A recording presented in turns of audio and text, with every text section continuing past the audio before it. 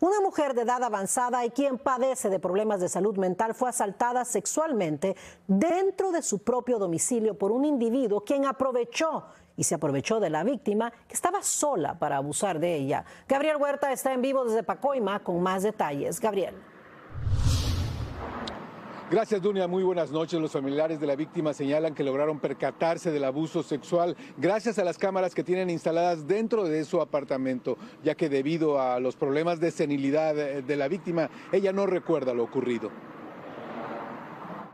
Es muy duro por ella y está sufriendo. La vida de ella, pues obviamente ya nunca más va a ser igual. Con evidente frustración e impotencia, Val, como llamamos a este hombre para proteger su identidad, describe cómo su suegra, una mujer de 81 años de edad y quien padece demencia senil, fue atacada sexualmente por un individuo que ahora es buscado por las autoridades. Le abrió la puerta y el muchacho se dejó entrar, como no conoce a gente. En el video se mira que él luego, luego intentó abrazarla, acariciarla y pues después de eso empezó lo más, lo más horrible, pues. El asalto sexual ocurrió el pasado lunes, poco antes de las 7 de la noche, en el domicilio de la víctima, ubicado sobre la calle Pierce, en el área de Pacoima. Val señala que tras ingresar al departamento, el sospechoso abrazó y besó a su suegra para posteriormente obligarla a practicarle sexo oral, lo que quedó captado por cámaras de vigilancia instaladas dentro de la vivienda. Sexualmente abusó de ella. Y ella, pues ella, como ya es mayor de edad y sufre de Alzheimer, no pudo hacer mucho. no pudo pelear contra él o nada de eso.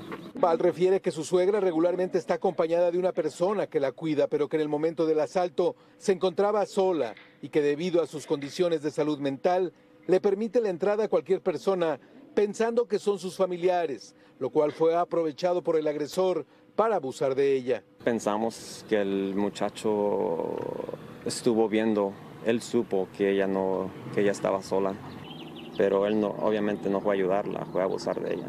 Detectives de la división Foothill de la Policía de Los Ángeles informaron que el sospechoso es un hombre hispano de aproximadamente 22 años de edad, 5 pies 8 pulgadas de estatura, de complexión robusta, con barba, y quien al momento del ataque Vestía gorra y camisa grises y pantalones cortos de color negro. Dice la gente que lo han visto varias veces en la vecindad, pues ahí en los apartamentos, ah, pero nadie lo conoce por nombre.